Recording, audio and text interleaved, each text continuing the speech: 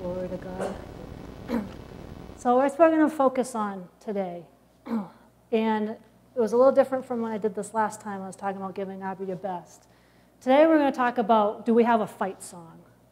That is the title of, actually, this is the title of why I named this sermon. Do, we, do you have a fight song? Do you have a fight song? What is your war cry? When you're in the midst of a battle, when you have the enemy coming at you full force, do you have a strategy? Do you have a war cry, a battle song to get you through it? Are you doing what it takes to have a fighting spirit, to be a fighter and not a quitter? Are we people that can show the devil in the world that we are fighters, that quitting is not an option? Even if we get knocked down, we shake off the dust and get right back up. We keep on keeping on. And we need to just, you know, we really need to the, the times that we're in, we really need to develop this fighter, this fighter spirit, this warrior spirit that's inside of us. You know, and it's like, um, what is our, what is our fight song? We know Abba sings a song over us. He has a specific song for each one of us. You know, and amen. When Holy Spirit dropped this into me, what is your fight song? It connected it back to me as like, okay, you know, what was I talking about in pre-service prayer? Before the battle, you praise and glorify Abba. Before the battle, you sing your song of praise to him. Before the battle, you sing that song with your declarations and your fight because when it comes down to it, it's not over till it's over. It's not over till it's over. And all of us in here, we have what it takes to give Abba our best. All of us in here, we have what it takes to be fighters, to be quitters, and not give up no matter what. It doesn't matter in any situation, any circumstance, what may be going on. The devil's main goal is to try to get us to quit. That's what he wants us to do. He want, he'll throw everything at us and overflow to try to get us to quit and give up. But we need to remember that, you know what? Abba has birthed a dream in each and every one of us. He's birthed, birthed a destiny. And the devil knows, I think sometimes more than we realize, the, the devil knows how powerful we are. Each and every one of us, individually, and all so much more so as a group of people. And so that's why when it comes down to, you know, we're in a battle about something, don't ever quit. Don't ever quit. You know, just like what he was saying here. Don't ever quit. Give it your best. Give it all, no matter how much it hurts, no matter how hard it is. You keep going, moving forward every inch of the way. Because when it comes down to it, we are not quitters. Quitting is not an option. We are fighters, we are warriors, and we need to battle through in that, especially in the times that we've come into. So then, the days that we are in, we need to develop a fighting spirit, a warrior mentality, that no matter what, we will not quit. We will not give up. We will keep on fighting. We will keep on fighting for our families. We will keep on fighting for this nation. We will keep on fighting for what we believe for. And big, big, we will keep on fighting for this church. We will keep on fighting for our pastors. I don't know if any of you have noticed it recently over the last year or so, but our pastors have come up under supernatural attack, okay? It seems like it's been relentless, one after another, that our pastors have walked through, our mom and dad. But if anybody that I know of in this natural realm, in this time and period, that can walk through those things as a warrior in a no quit spirit is mom and dad. But mom, you know, we just, we can learn so much from her. She's been through so much in the natural. But we keep our eyes focused on her. Everything that she's walked through, we can walk through it too. You know, and she has just got inside of her that warrior mentality, that fighter. And if anybody, and I'm speaking, you know, somebody that I know personally, so that's why I'm using her an example. But in the natural, if anybody had the right to decide, you know what, I'm done. I'm done with you all. Just go have at it. Do what you want. I'm quitting. I'm not going through it anymore. She honestly has the right to do it. She really does. With the stuff that she puts up with, really. From us, the stuff that she puts up with, from us, you know, amen. But when it comes, you know, all kidding aside, they have walked through some things the rest of us have not walked through, okay? And it's been relentless. It's been over and over and over again. You know, maybe some of us have walked through one or two things the same that they've walked through. We have not walked through all the stuff that they've walked through over this last year, year and a half. And what do you see come out of mom and dad? I'm not trying to leave dad out, but mom is like the, the main figure who carries everything and stuff. What do you see out of her every single time? That don't quit attitude, that fighter mentality. And, and, and then she, she keeps displaying that. Even in the natural, when it seems like the situation she's fighting for is quitting, or the, or the person she's fighting for is quitting. She stood right there, and it's like, don't quit, don't quit. Give me your best. Keep going, keep going, keep going. And we need to develop that because we're, we're coming into times, we're coming into, we're in a season where, you know what, all hell has broken loose on this earth. And we've begin, been beginning to see some things, and we're going to see some things on, on a, a more accelerated, higher level. But we are the people that hold the key to be able to fight through those things. We are the people, as long as we develop this fighting spirit, this no quit attitude, we will get the victory. And it's going to be for us, like I said, for ourselves personally, because I know each and every one of us in here, we have something that we're believing Abba for. All of us. We all have been in a battle at one time or another, and the outcome of that battle depends upon us. It depends on how we fight that battle. And that's why we just we need to develop our, our fight song before that the, before the battle even comes. We develop that fight song. And you know what? There's always enough fight left in us. No matter what, there's always enough fight left. The devil can never drain the fight out of us. And mom is a very good example of that. You can never take the fight out of that woman. And we can rise up as sons and daughters of the Most High God and be ones where the devil can never take the fight out of us. Amen? so Joel 3:10 amplified says, "Let the weak say, I am a warrior." Amen. And that's who we are. Abba has created us as warriors. We are warriors. We keep moving forward. We keep pressing on to victory. When it seems like in the natural things are getting tough and there is pressure, we keep going.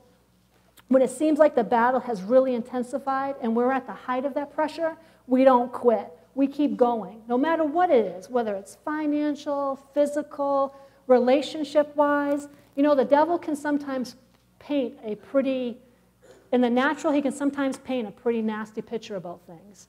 But we all know the devil is a master of lies. And whatever he paints is a lie. The lies don't have the power, the lies don't have the truth. What has the power and what is the truth is the Word of God. And what has the power is each and every one of us, in, each and every one of us in here. We have that same power and authority that Yeshua had. And the same power and authority that Yeshua had and spoke out when he decreed and declared something, we have that same exact ability inside each and every one of us. And I think we just we need to learn a little bit more how to just step into the fullness of it. Step into the fullness of realizing who we are and whose we are. We are we are Yeshua. We were created in Abba's image and his likeness. And the same works that he did, the same we will do in greater. Amen? so when it seems like the battle has really intensified and you're at the height of the most pressure, whether, like I said, whether it's financial, physical, health, work, I know work can be a big thing for a lot of people. Sometimes when we're at work, we're at our jobs, the devil can seem like he's just man, we turn around. Every time we turn around, there's something happening, and, there's, and we're standing in faith and we're believing, you know. And the devil's going to do what he can to try to move you.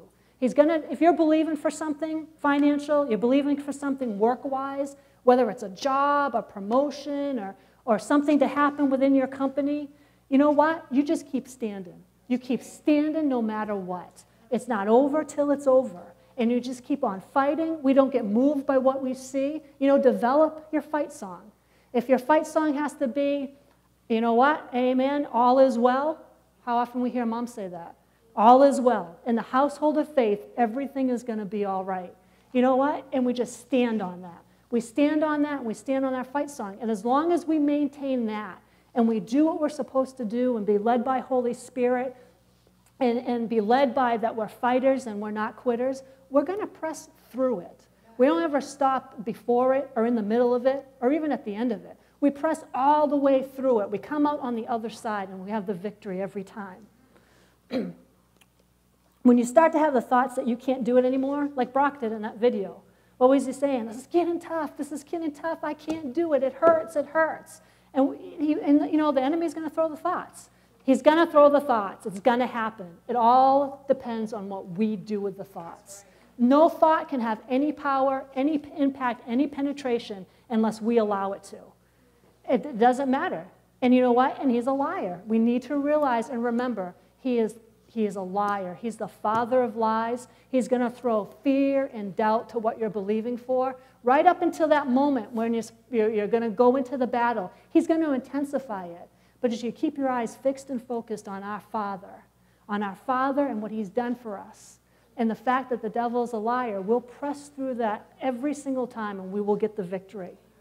And if we don't quit, you know, if you don't quit, when you're right, a lot of times, right when you're in the midst of the battle, and all of a sudden there's all that pressure, like Brock, it's getting hard. You know, it's at the towards the end. It's getting hard. It's getting hard. I can't do this. It's getting hard. It is pressure, pressure, and it seems like it's building and building and building. That is at the utmost time where the devil wants you to quit. He, it, it may seem like he's got you. It's too tough. I can't do this anymore. But the devil knows that right around the corner is your breakthrough. Right around the corner is your victory. You could be standing right here and you've got the most amount of pressure coming at you. And as long as you don't quit, as long as you don't give up, as long as you keep fighting, bam, right there on the other side of that one inch line was your victory, was your breakthrough.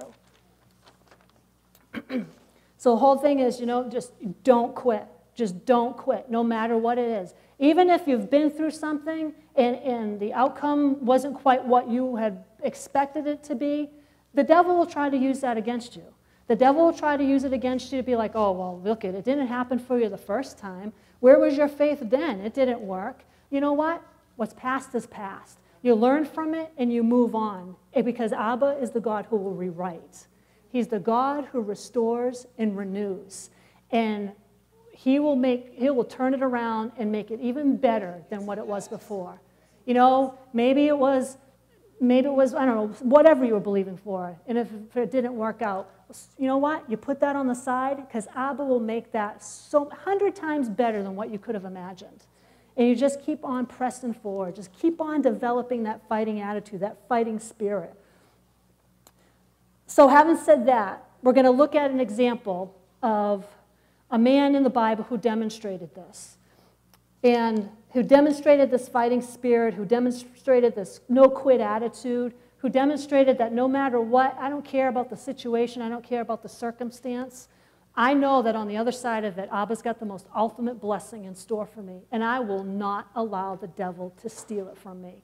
And that needs to be our personal war cry, part of our fight song. You know what? Enough's enough. Enough's enough. I am not going to allow the devil to steal from me anymore.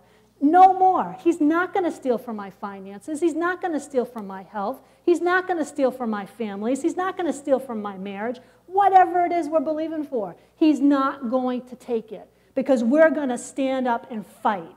And he's going to find out that he's going to wish he never came against this group of people, this group of fighters, because we are a people that are going to rise as those warriors that Abba created us to be. This camp right here Abba created us for such a time as this. And I know all of you in here know that there's a high calling upon this church. There's a high mandate upon this church. And each and every one of us are in it together. And when we finally, finally click, finally click and come together as one, you know, as mom and dad has been trying to talk to us about, as one, come together, knit together in heart and mind, you know what? the devil is going to be sorry he even messed with us. He's going to be sorry he even tried to come at us personally with things in our personal lives. He's going to be sorry that he tried to come at this church. He's going to see a group of people who rise up as fighters and warriors that they are. Amen. So this person that we're going to talk about might seem a little different, and I don't, you know, I don't even know if I recall Dad even talking about him, maybe a long time ago or something. But it's going to be Joseph.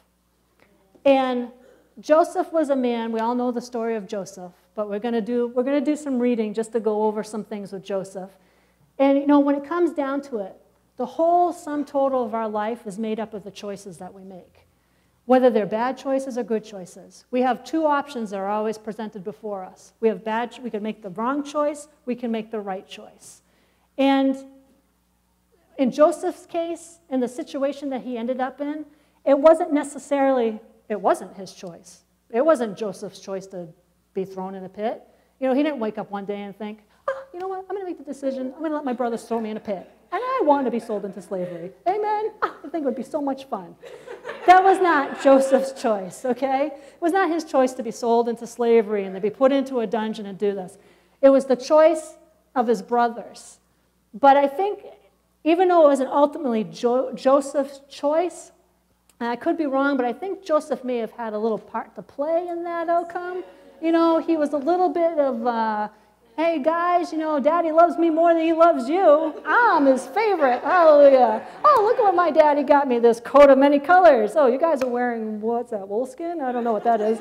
Yeah, I don't think he was, you know, I think he may have added on to his brothers deciding, you know what, let's, let's get rid of this guy, okay?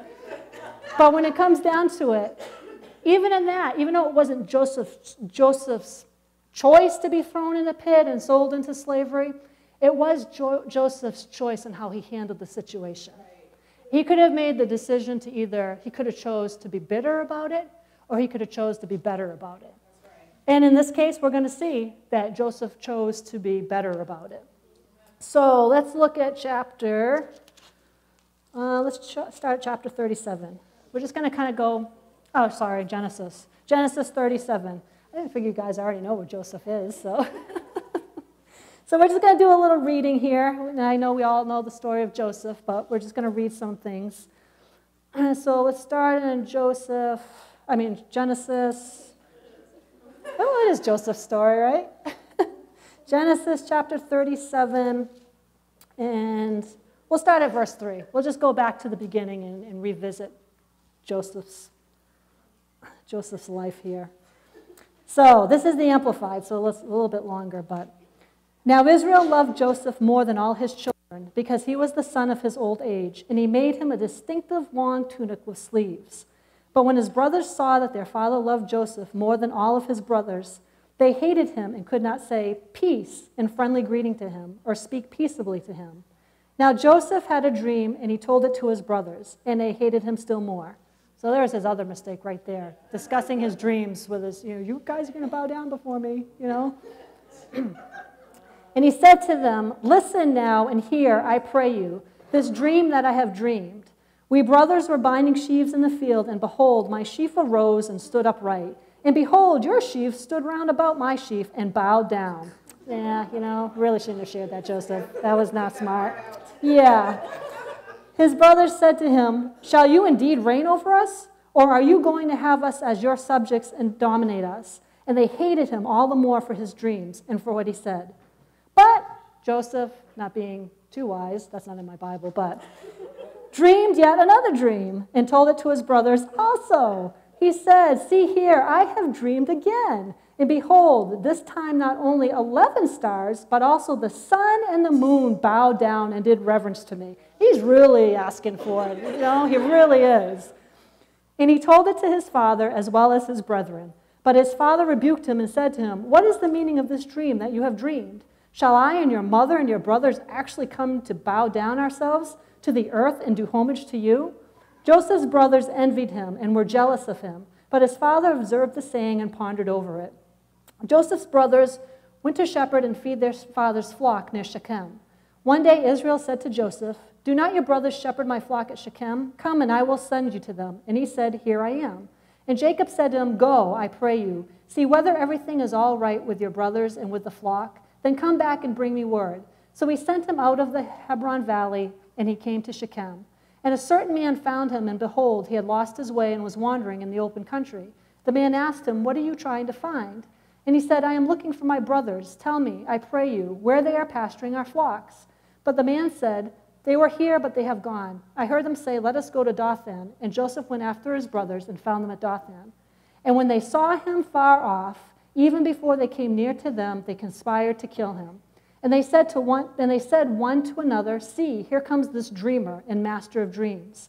So come on now, let us kill him and throw his body into some pit. Then we will say to our father, Some wild and ferocious animal has devoured him, and we shall see what will become of his dreams.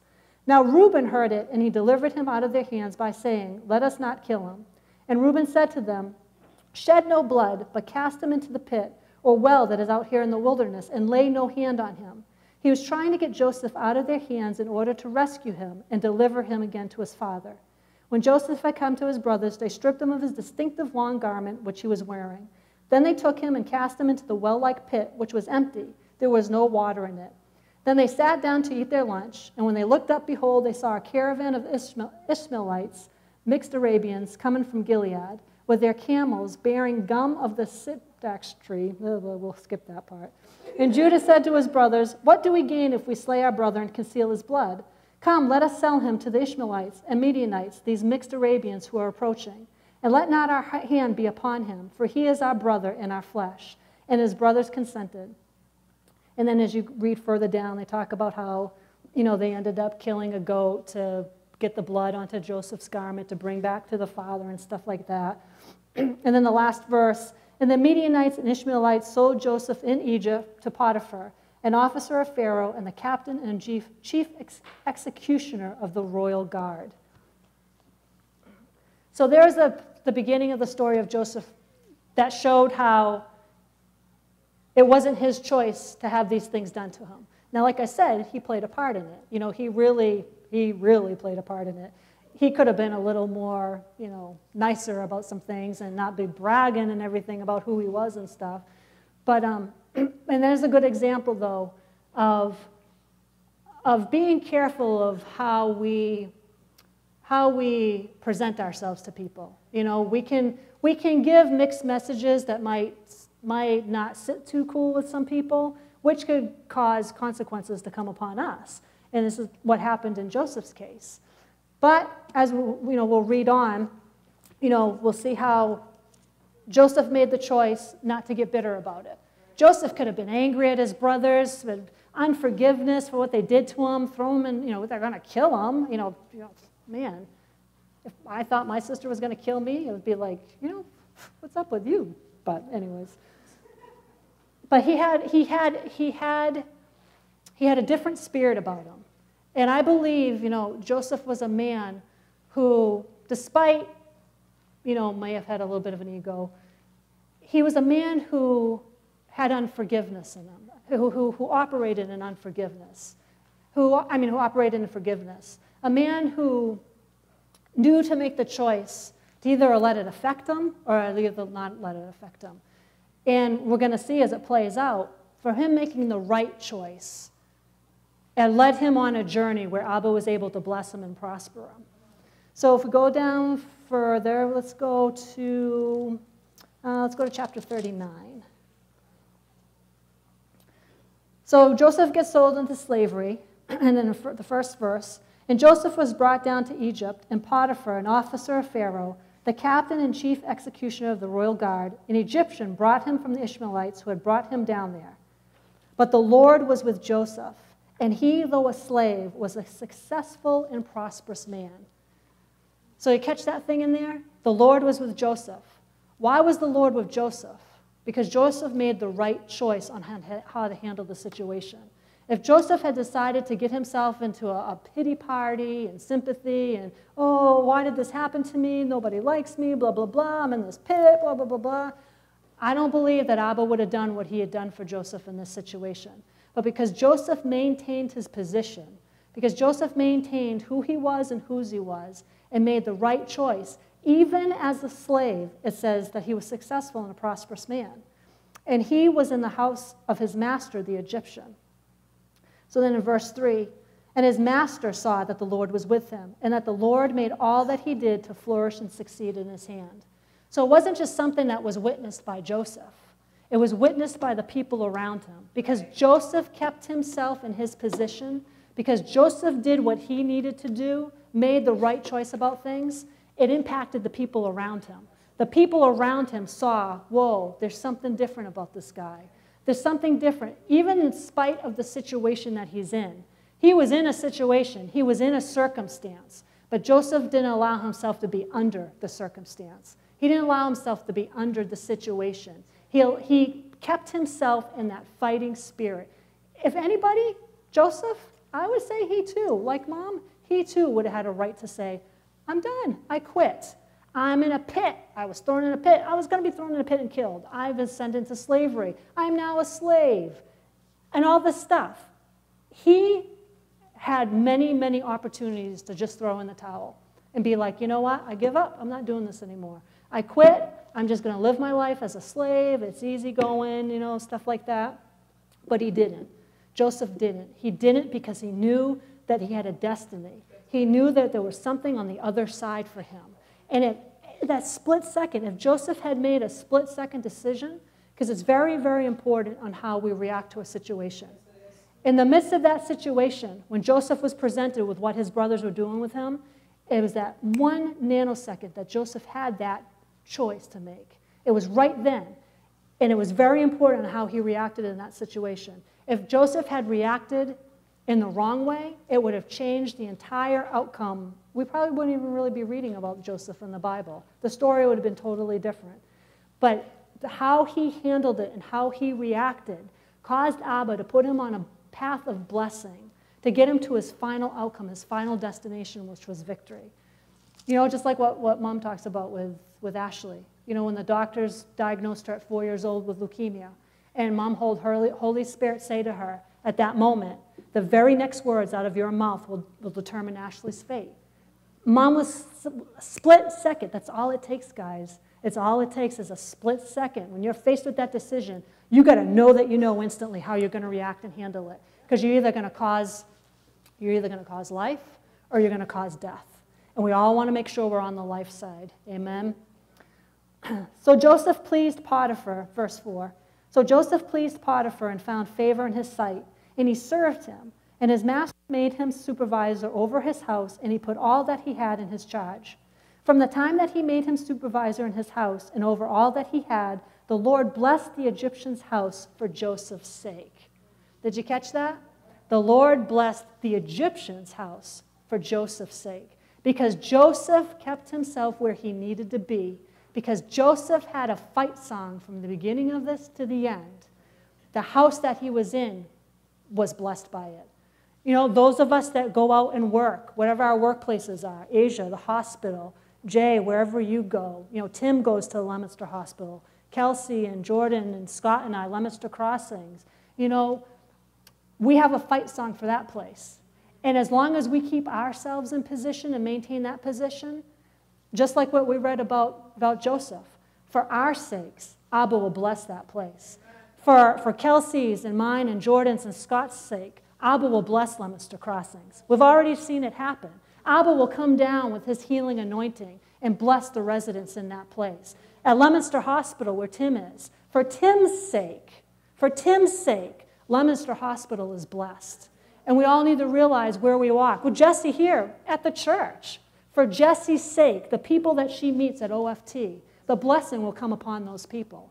The residue that we all carry, even after Kelsey and Jordan and I leave Leominster Crossings, after Jesse leaves here from OFT and Tim's part of OFT, all whoever's part of OFT who comes and helps. When Tim leaves the hospital, when Justin leaves his place of work, all of us, when Ann, Ann volunteer at a hospital, when all of us, when we, when we leave that place, we need to realize we leave a residue.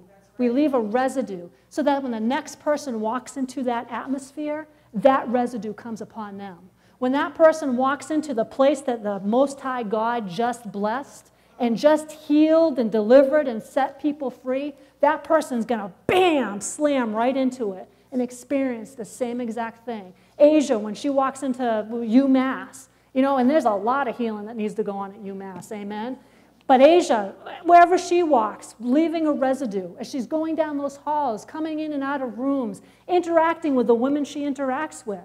For Asia's sake, the Lord will put a blessing on those people because we keep ourselves in position and the Lord will bless. He will bless whatever we set our hands to. and the Lord's blessing was on all that he had in his house and in the field. And Potiphar left all that he had in Joseph's charge, charge and paid no attention to anything he had except the food he ate. And then it goes on to the story. I won't go on to that whole story, but, but we know next how, you know, Potiphar's wife tries to make a move on him and stuff because he was handsome and everything. And, and ultimately, you know what? In the flesh, Joseph had the very good, big opportunity to make the right, wrong decision right then and there. You know, Joseph, the Bible describes Joseph as a very attractive young man.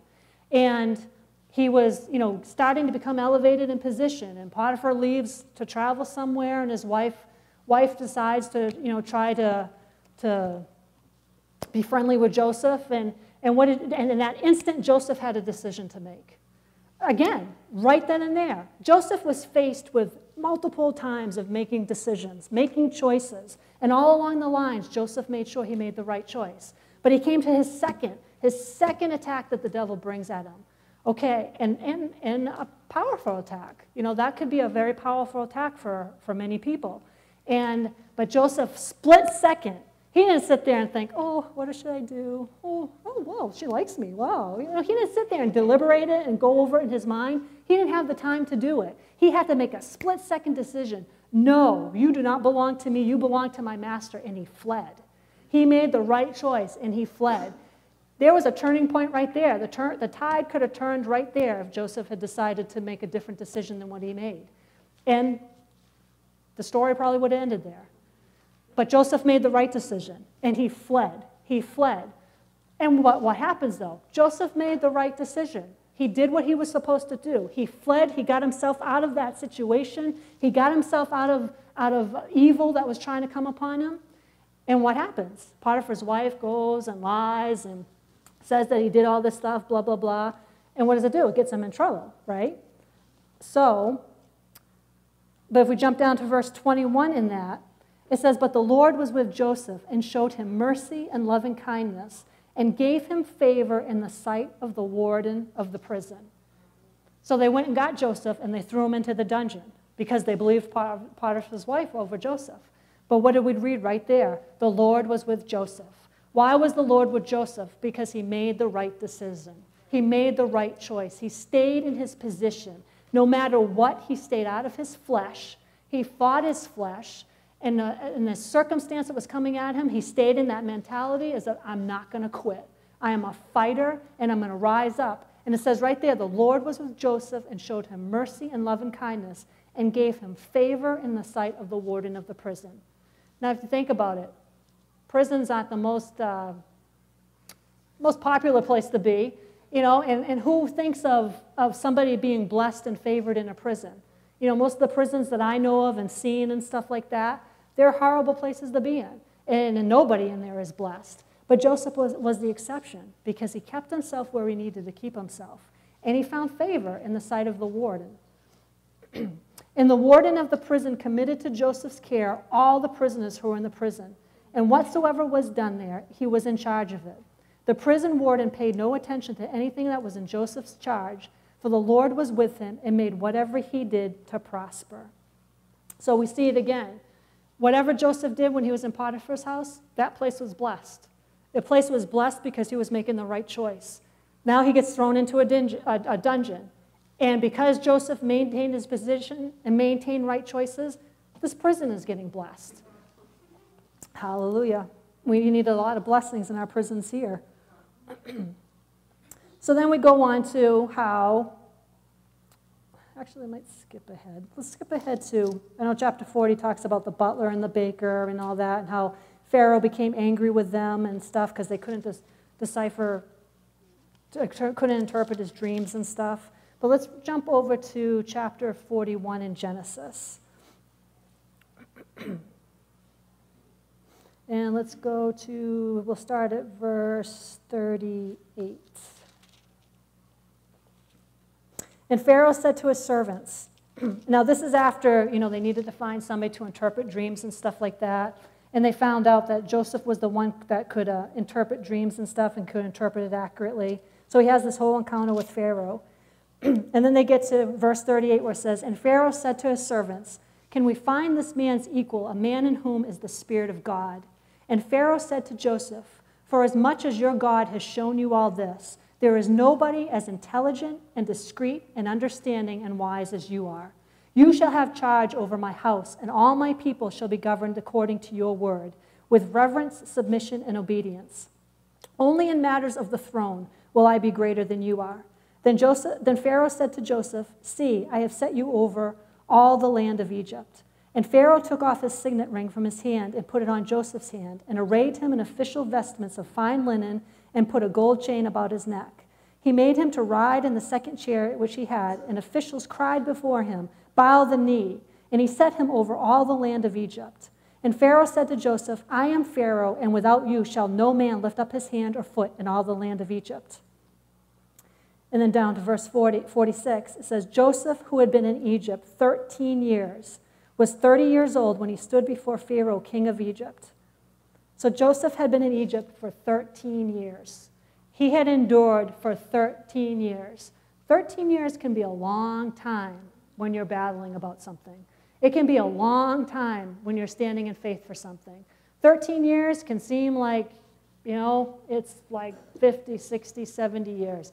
In 13 years, a lot, the devil can throw a lot at you to try to make you think differently, to try to make you think this isn't going to happen. You know, most people after six months give up and quit, you know? But this guy, 13 years, he stood. He stood, not quitting, not giving up. What if he had made the decision year one into this, like I said before? You know what? I'm done. I, I quit. I'm done.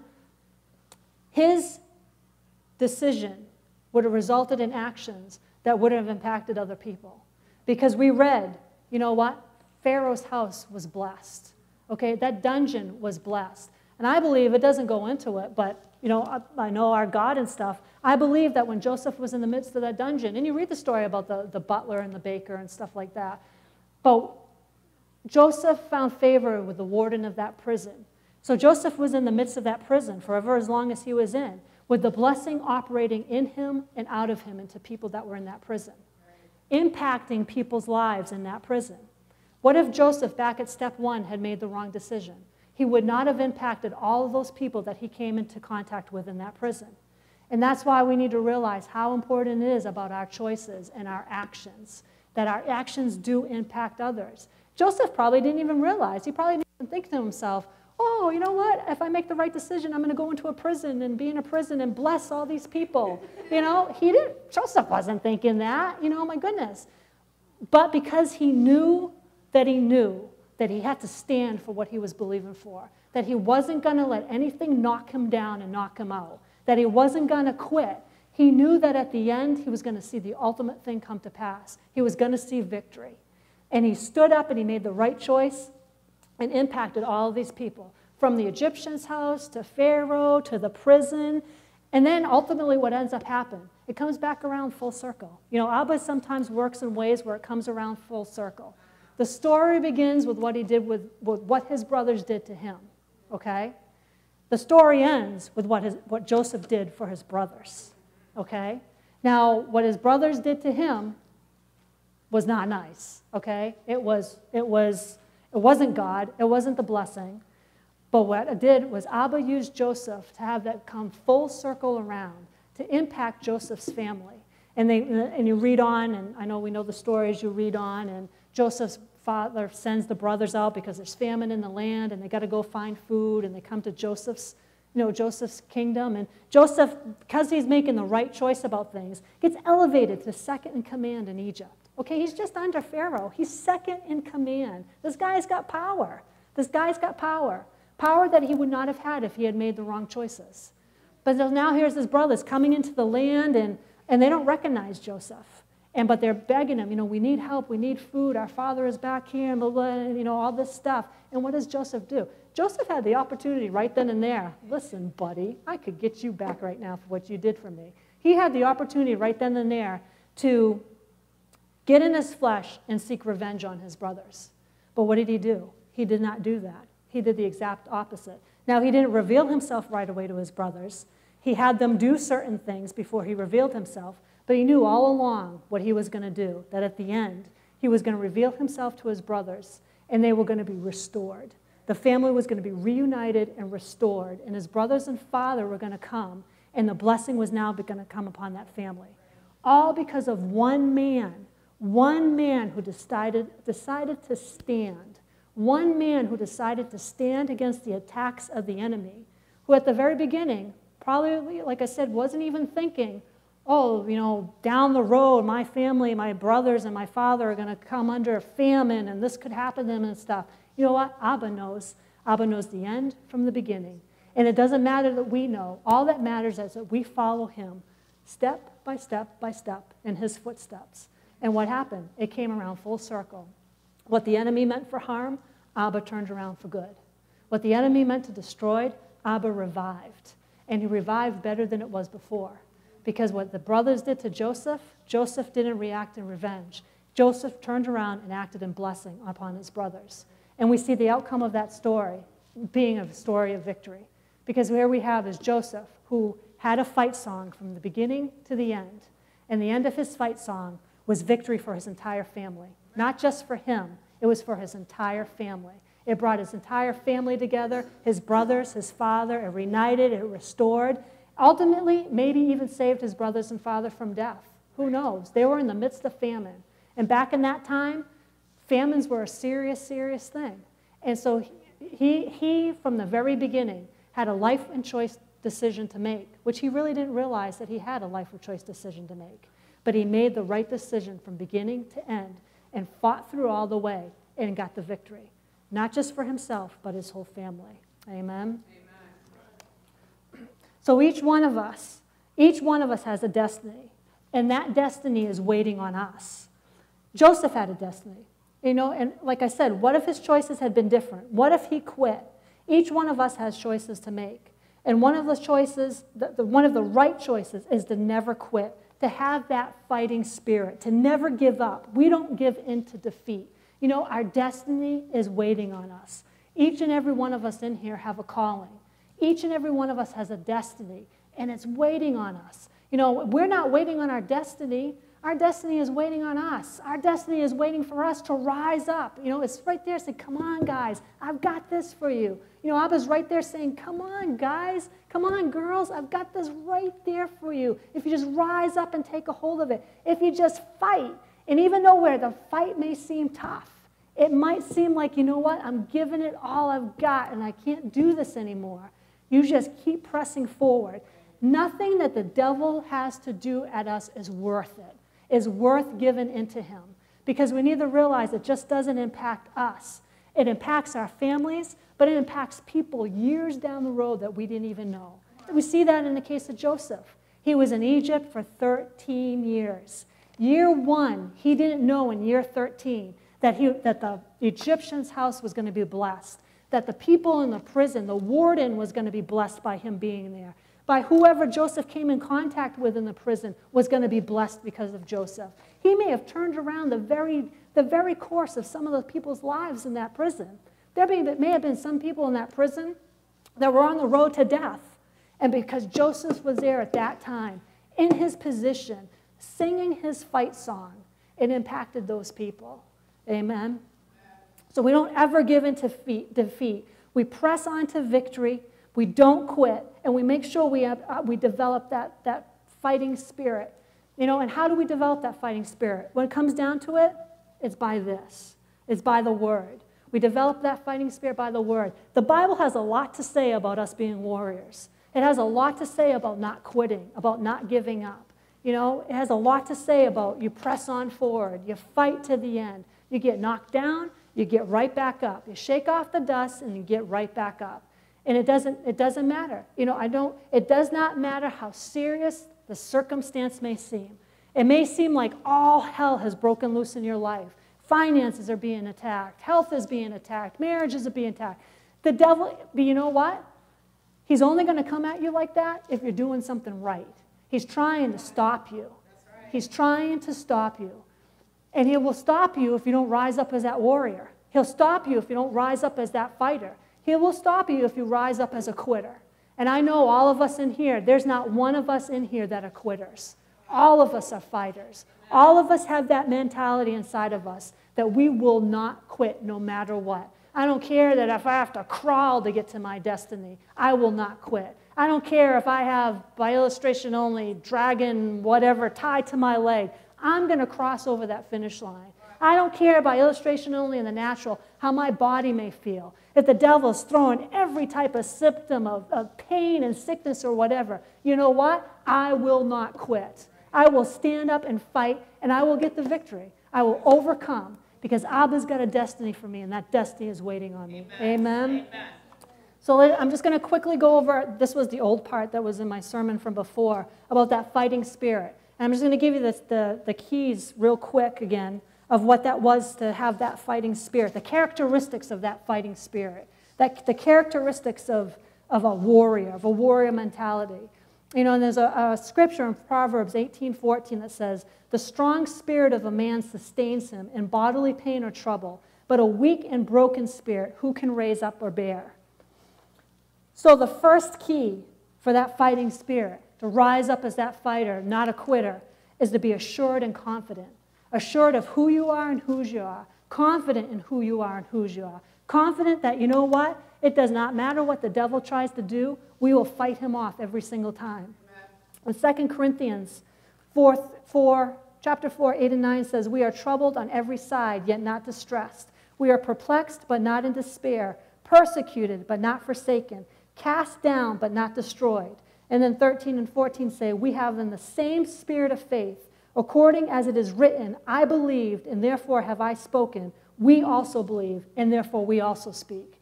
It's one thing to be thinking, I'm not a quitter, I'm not a quitter, sitting in the corner, I'm not a quitter. You need to be saying it. You need to be saying, you know what? You need to be saying it to the devil. You need to be saying, you know, like that scene in War Room when she walks throughout her house. I resist you, Satan. I resist you. You are not welcome in this house. You get out of my house. You get off of my daughter. You get away from my husband.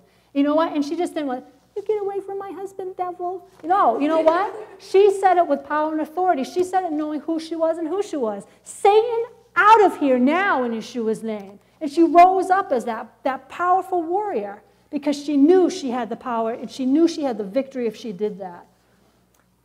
Second one, being established and unmovable. We need to be established in who we are and whose we are and maintain a, a stance of that we cannot be moved. Acts 20, 24 says, None of these things move me. Hebrews 10, 31 says, But we are not of them who draw back. Psalms 112, 7 and 8. He shall not be afraid of evil tidings. His heart is fixed, trusting in the Lord. His heart is established, and he shall not be afraid until he sees his desire upon his enemies.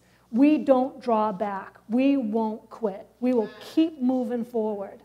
Third key, we're ready for anything prepared in season and out of season, always in a place of being ready for anything.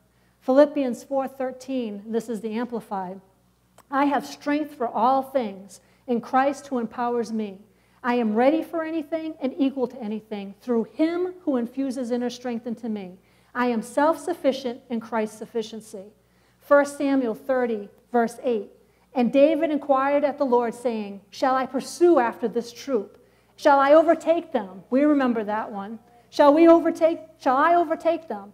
And he answered him, Pursue, for you shall surely overtake them, and without fail recover all. Recover all. Even if the devil has come in and has gotten something, you can get it back. Abba will cause you to recover all. Like I said before, he's the God who restores and renews and restores to better than before whether it's finances, health, relationships, whatever, he restores to better than before. Fourth one, and overcome his attitude. We have to have that overcoming attitude. 1 John 5, 4 and 5 says, For whatsoever is born of God overcomes the world. And this is the victory that overcomes the world, even our faith. Who is he that overcomes the world, but he that believes that Yeshua is the Son of God? Romans 8:37 in all these things, we are more than conquerors through him that loved us. Fifth one, fifth key, fighting spirit, having that fight song, that war cry. You know, Eric Ludy, Ludy, Luddy, Ludy, Ludy talks about that ancient war cry, okay? He's got a war cry, and we need to instill that war cry into us. Staying cool, calm, and steady. You can't be a warrior. You can't have a war cry if you're all nervous and uncomfortable and whoa type of thing. You need to stay calm, cool, and steady. 2 Corinthians 4, verse 5 in the Amplified says, As for you, be calm and cool and steady. Accept and suffer unflinchingly every hardship. Do the work of an evangelist. Fully perform all the duties of your ministry. Proverbs 17 27. He who restrains his words has knowledge, and he who has a cool spirit is a man of understanding. So we stay calm, cool, and steady. Second, sixth key And this is what we've been talking about through the whole thing.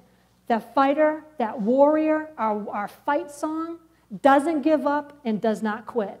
Galatians, Galatians 6 9, this is in the Amplified, says, And let us not lose heart and grow weary, and faint in acting nobly, and doing right. For in due time and at the appointed season we shall reap, if we do not loosen and relax our courage and faint. So, in due season, in due season, if we stand our ground, if we keep fighting, we will reap what we've been believing for.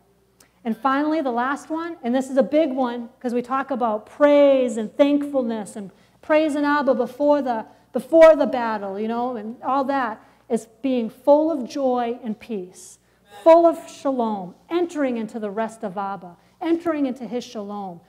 Joy and peace are indicators of a fighting spirit. They're indicators of, a strong, of, of having strong faith.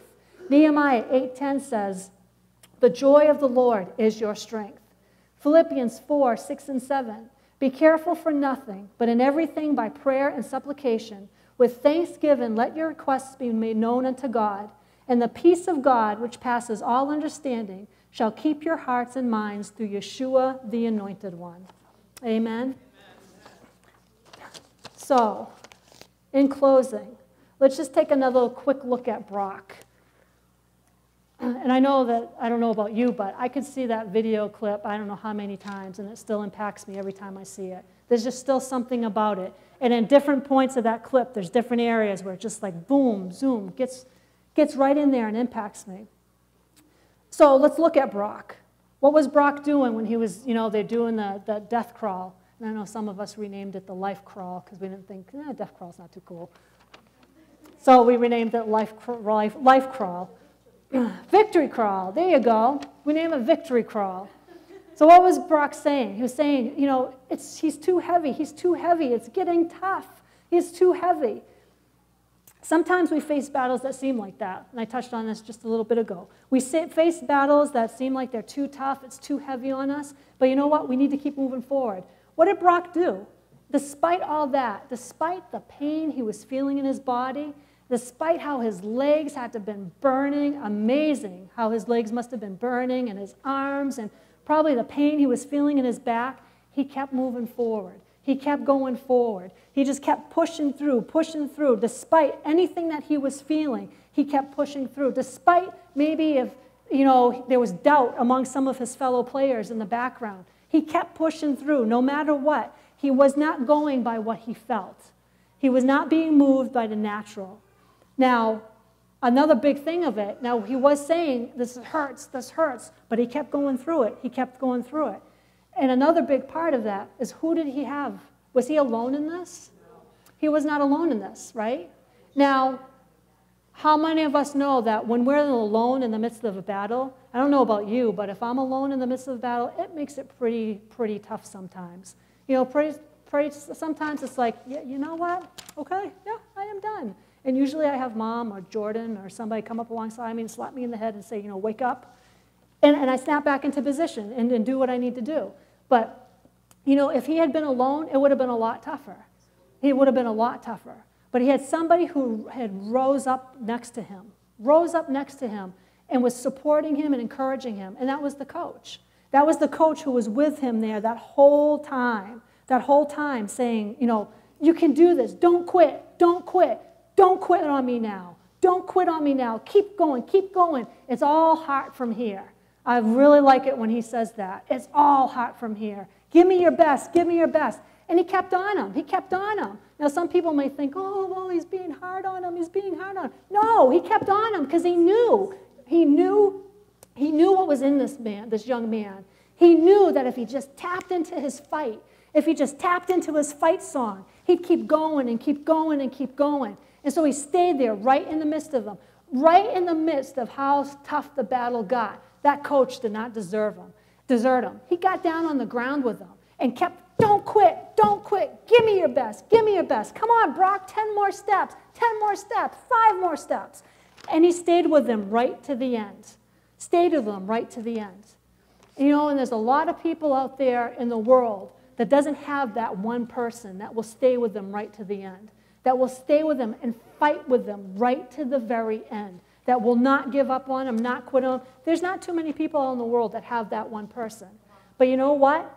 Every single person sitting in this congregation right now is very, very, very blessed that we do have that one person that will fight for us to the very end.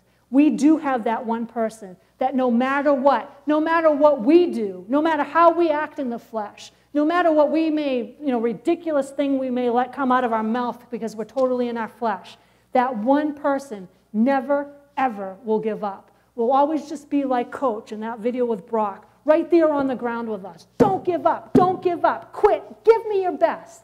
And that is mom. And we need to realize how blessed we have, we are to have that one person that is there, that is willing to give it all, willing to give the sweat and the strength, just like that coach did. Okay? Brock was blessed to have him for a coach. And we are blessed to have mom, the mom, the woman that we have in each one of us, to have in our lives. Because we have that one person that no matter what, like I said, will always be there. Don't quit. Don't give up. Don't give up. You know, and, and for me personally speaking, and I've said it, I've shared it before, you know, my daughter wouldn't be here today if it wasn't for that woman. My daughter would not be here today if it wasn't for that lady beside me every time, talking to me on the phone, in person. You know what? You can do this. Don't give up. Keep going, keep going, keep moving forward. Do this, do that. And at times that I think, man, my goodness, I'm pregnant. Have sympathy, would you? You know, really, you know, pregnant women, right, Tiffany? We need compassion. Come on, hallelujah. Glory. You don't understand. We're carrying around this thing in our belly, Asia, right? It's like, man, give me some sympathy here. Man, no, that would have been the worst thing, you know, and that's flesh. That's flesh. You know, you don't know how I'm feeling. My, my eggs didn't sit right because of this baby. You know what? Don't even say that to mom. You know, to be like, but despite, despite, you know, seriously, despite, no matter what, she's right there. And sometimes I know there's some of us in here to think, man, she's hard. Man, she's not giving me any compassion. I've thought that sometimes, okay? I, recently, it was like, man, whoa. But what happened? What did, it, what did it cause me to do? It caused me to shift like that. Because if I hadn't shifted like that, I was going down a road of destruction. Okay, there have been times in my life that if it wasn't for mom, I would not physically be standing here. Okay, I would probably be home early with the Lord, being like, oh, mom, I, why didn't I listen to you? Seriously. But because we have this lady in our lives, and we are, we are blessed because there are other churches that don't have that. They don't have that warrior woman, this woman right here who has a continuous fight song. Okay? She has a fight song every moment of the morning when she gets up. Every morning when she gets up, she's already got her fight song developed. She's already got her fight song playing. And she plays that fight song throughout the day. It's just not like, oh, I turn my fight song on and listen to it in the morning. Yeah, yeah, yeah, get all jazzed up. No, she keeps that fight song with her throughout the entire day. And that's why, that is why she walks in the supernatural the way she walks in the supernatural. And all of us have that same same thing that we can do also. All of us, I think mom said it one time when War Room had just come out, all of us are Miss Claris. Well, maybe not Scott and Justin and Tim, you know, and Vern. You, guys probably don't want to be referred to as Miss Claris, but Papa, Papa, I know doesn't want to be Miss Claire. and Don. But anyways, you know, but seriously, that fighting spirit, that warrior, that decreeing and declaring the word, believing, knowing who her father is, knowing her who her God is. And Mama said that. All of us in here have that Miss Clara inside of us. And it's just time to, to rise up, to rise up with that fight song, with that warrior. And you know what? Take back what the enemy has stolen and stop him in his tracks from stealing any more from us. Right. Amen? Amen? Get back, recover, recover, restore, restore and renew. You know, it says, uh, and as Isaiah says, Abba says, I am the God who restores and renews. Behold, I am doing a new thing. Behold, I'm doing a new thing. You know what? If he stole finances from you, if he stole relationships from you, you know what? Behold, he is doing a new thing. And it may be a new thing within that same relationship. It may not be. But if it's a new thing within that same relationship, it'd be better than it was before. Better than you could ever, ever imagine. Because Abba has absolute best. The best is yet to come. The best is yet to come. Amen. So I'm just going to share a couple little quotes. I did, this is my second closing. Sorry. So I'm just going to share a couple. I'm just going to share a couple quotes that I actually found about not giving up, not quitting. I think some of them I may have shared before, but I just thought they were just like really, really impactful. If you fall, get back up. If you stumble, regain your balance. Never give up. The minute you think of giving up, think of the reason why you held on so long. The moment you give up on something, your opponent is enjoying the victory. The moment you've given up, your opponent has gotten the victory. You've gotten the defeat, your opponent's gotten the victory. Run when you can, walk if you have to, crawl if you must, just never give up. Don't ever get up, give up. Everything's possible. Never give up, for that, for that is just the place and time that the tide will turn. No matter how you feel, get up, dress up, show up, and never give up. You know what? And that's, I know for me personally speaking, that's a big one. Because I've been through things that's just like, Abba, I am staying in bed all day. I'm not getting out of these pajamas. I'm not going to take a shower. For me, not to take a shower every day, that, well, that's just, uh, yeah. No, that's a biggie for me. But it's like, you know, and I've had those days. It's just like, I'm not crawling out of this bed. I am just staying in my pajamas and I'm going to sulk and whine and just lay here. You know, and really, what good does that do? You know, you end up wasting the whole day, and you didn't take a shower, so you're probably smelly, and you know, you're in your pajamas and yuck and stuff. so ultimately, but you know what? In the midst of, you know, even like a physical challenge by illustration only. There's been times, you know, before when I used to get sick, you know, get colds and stuff. I, you know, moping and laying in bed, and you know, Scott, can you give me some tea? A face cloth. Can you do this for me, please? You know, what good does it do me? Seriously, what good does that do me? In the midst of no matter how I'm feeling, I may feel the worst possible way. I need to get up, get myself dressed. And you know, an amazing thing happens. When you start to get up out of that situation you're in, you get yourself dressed and you start moving, you feel all that stuff all of a sudden just falling off of you. You feel symptoms just boom, boom, boom, gone. And next thing before you know it, you're 100% healed. Next thing before you know it, that bill is 100% paid. Next thing before you know it, that relationship is 100% restored. Amen? Hallelujah. So, in third closing, in ending, we're going to see another clip that I don't think I've ever showed in here, but it's actually going to be um, it's a clip from Facing the Giants, and it's a it's a victory clip, and it's a in the midst of someone who was like was doubting themselves. But then again, there's that coach. It's like, no, you can do this. I know you. You can do this. You know, and put yourself, put yourself in the position of the, the, the kicker in this clip and see mom in the position as the coach. You know, and, and whatever you may be facing, whatever battle it is, whether it's at work or finance or marriage, relationship, put yourself in the position as the kicker. Put, see mom in the position of the coach and then see some other people that, have, that, that rise up in support of this person and just see the outcome of the victory that happens. Amen. I think that says it all right there. Amen. Another powerful clip from Facing the Giants.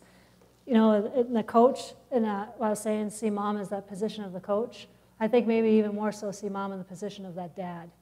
That dad going in his wheelchair and fighting through and getting himself to fight to stand up. And what does he say when that guy says, Let me come help you? No, don't touch me. I'm fighting for my, standing for my son. And that's who mom is to us. You know what? Don't touch me. I'm standing for my daughter. I'm standing for my son. I'm standing all the way, and we're going to get this done. Amen. Abba, we thank you and praise you. Abba, we thank you that we are a blessed, blessed congregation. Now, Abba, we thank you that you are rising us up. We arise right now. We make that quality decision right now, Abba, to rise up as fighters, to have our fight song. And no matter what the devil may try to throw our way, Abba, we will come through out the other end in victory. We will be singing and dancing our fight song from beginning to end, rising up knowing that we are not quitters, that quitting is not an option. Quit is not even in our vocabulary. And Abba, we give you all the glory, all the praise, all the honor, Most High God, for you truly are our Father, my Father our Father. And we thank you for the blessing and mom that you have given to us, mom and dad. But we thank you, Abba, that we have a mom that will stand for us, that will stand for us despite whatever. until we get through and have the victory in Yeshua's name. Now, may the Lord bless you and keep you. May the Lord make his face shine upon you. May the Lord rise you up as that warrior that you are. May you see yourself as our Father sees you, as a strong, powerful son and daughter of the Most High God. In Yeshua's name, amen.